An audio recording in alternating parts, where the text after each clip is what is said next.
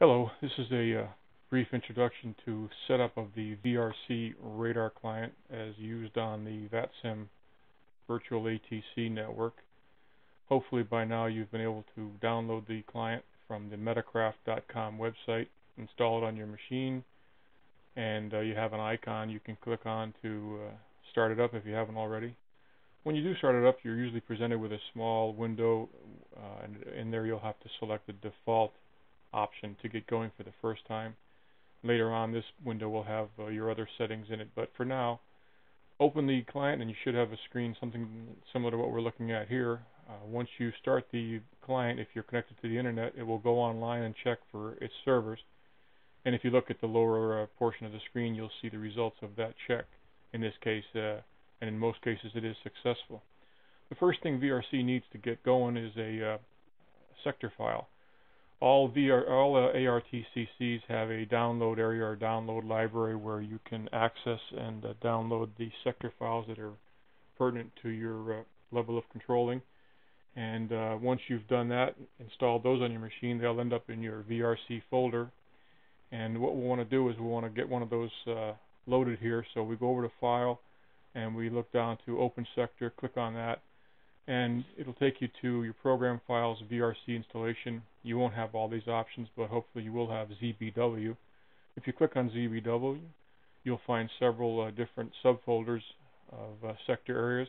In our case, we're going to use Providence for this demonstration. So we click on Providence, and what we want to do is find the SCT2 file there. Click on that, and it will load up into VRC. And you can see that on the screen here. You can use the mouse wheel or the F11 and 12 keys to zoom in and out. In this case, I'm using the mouse wheel. I want to just zoom in here. You can see that we're presented with some geography here in the, in the uh, form of coastline. There are some islands here, and the coastline continues up past Boston into Maine. But in the center of this area here, what we're, what we're looking at is Providence. You can use your right key, hold the right key down, on, and drag the screen to uh, center it or move it around. And uh, zooming in to the Providence area, you can see that we have PVD in, in the letters here, and the little square denotes that that's the Providence VOR. You also have some brown uh, uh, material here, but it doesn't really make much sense. So what we want to do is we want to look and see if we can find something, some way to load up the uh, runways and taxiways and the airport environment. Going up to the View drop-down menu uh, and running down through that, at the way at the bottom, you'll see something called Diagrams. Click on Diagrams. Another way to open this window is with the Control and G keys. I'm just dragging it out of the way here so you can see what's going on. You can see that it's divided into two sections, SIDS and stars. And uh, what we're concerned with right now is the PVD airport geometry. And this other information will be useful to you as you control in other levels and areas, but for right now, just click on PVD airport geometry, and you'll see that on the screen you get a representation of the uh, airport environment for Providence.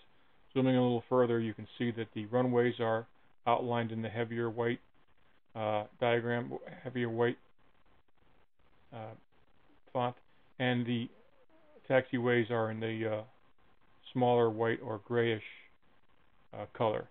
And the brown now takes the uh, form of buildings, which are associated with the airport proper. And uh, the last thing we want to do is we want to see if we can add some identities or some labels to this area. So going back to the view menu and running back on down again, uh, almost to the bottom, you'll see static text here. If you click on static text, you will now get uh, letters labeling the taxiways and the runways uh, numbers are showing, and there's some other information available to you. You'll find this in almost any sector file you work at, and this will help you in uh, great measure when you're doing uh, ground and tower controlling at the airport. Now that we've got that much established, uh, what we want to do is get our, our VRC set up the way we want it. So going up to uh, settings again, uh, what we want to do here is we want to click on or look at the radar mode. Just hold your mouse over that, and it will open up the uh, sub window. And in here, select either ground or tower radar. The reason for that is these other radar uh, options will not show you targets on the ground which are not squawking mode C.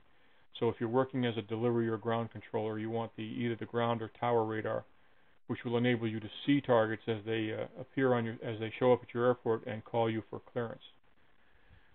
Uh, again, uh, while we're in this menu, let's set up our uh, audio devices because to provide voice, we're going to need that. So in the settings menu, uh, roll on down to the audio devices option and select that. Now, Windows will uh, automatically populate this with what it feels is the, the equipment that's connected to your machine available for your use.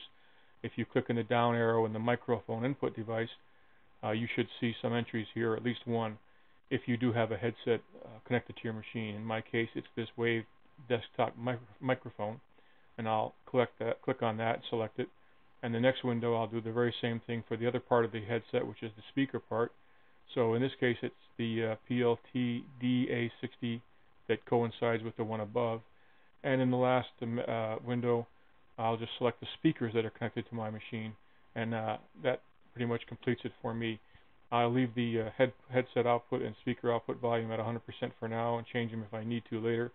And these other two options are just enhancements that we don't need to be concerned with at this point. So click on OK out of that window, and that should go away. And you're, you're set up except for one more part. Uh, we want to have sounds active in VRC, so click on Sounds under the Setting menu. Here you'll find that uh, there are some options available. In this upper window, in the drop-down section, you'll see events listed, uh, events that are associated with certain messages or sounds. So if you click on, let's just use, for example, conflict alert. Uh, going down to the window below that, this is probably not populated on your in your system. And what we'll do is we'll click on select, and that will take us back to the VRC area. If you see this no no items match your search, click on the main VRC folder and in there you should see a submenu called Sounds. If you click on that, you'll see a whole list of uh, files that are associated with certain events. And since we were looking at conflict alert, we'll find one here that says, in fact, conflict alert. Clicking on that, that will cause uh, that particular wave file to be associated with this particular event. And just to make sure that it's what we want, we can click on play and you should hear an audible uh, sound, and that is your conflict alert. Go ahead and continue through this window and uh, make sure you select uh, a wave file that, that is associated with every event listed in the window. When you're done, ensure that Sounds Active is checked and click on OK and leave that particular menu. Next we go over to the View drop-down and uh, first thing I want to do here is, uh, I'm sorry, Go back to Settings and click on the General window, the General selection. Here in uh, General, under Miscellaneous tab, we want to fill in these two sections here. An alias file is important to your text controlling. So since there's nothing in that window, click on Select. Once again, it takes us back to the VRC folder. In the uh, VRC folder, select Boston. Under Boston, you should see something called ZBW alias VRC edition.txt. Click on that, and it will populate that particular box. Below it is a POF file section, which is your position file. Tells VRC how to uh, recognize controllers around you.